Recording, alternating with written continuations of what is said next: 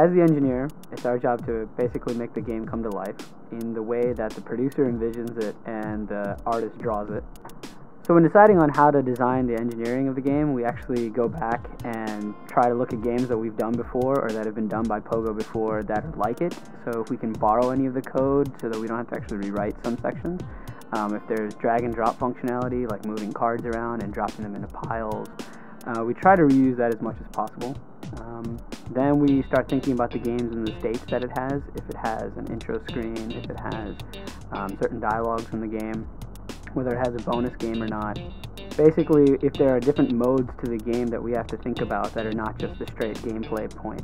Uh, after that, we start thinking in objects, what kind of objects are in the game, whether they're pucks or cards or whatever, um, and start deciding how they start interacting with each other.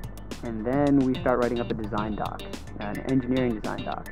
And that design doc contains how we're going to approach building this game and that gets reviewed by all the other engineers here and then we decide what are the best practices that we can put into this game so that it's not error prone um, so that it is a clean elegant design to it.